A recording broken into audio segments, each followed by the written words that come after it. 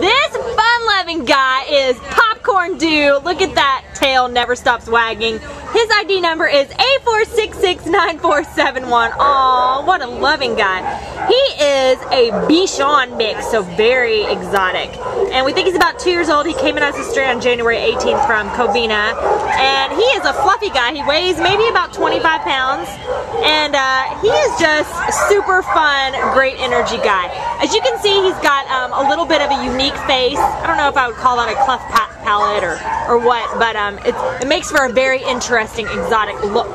And he does not let his exoticness slow him down or get in the way at all. He just wants to play with anything that moves, a person, another dog, anything. He loves other dogs, he loves people. Um, he was very cooperative on the grooming table, so he's, you know, got a lot of patience to him.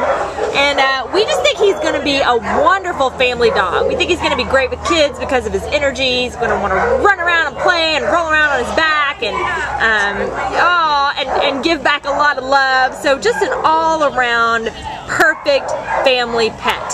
So if that's what you're looking for, which I hope you are, come on down and meet Popcorn Dew and take this exotic Bichon home with you today from your friends at the Baldwin Park Shelter. Oh yeah, look at him wagging his tail. He's ready to meet you. Bye-bye, Popcorn Dew.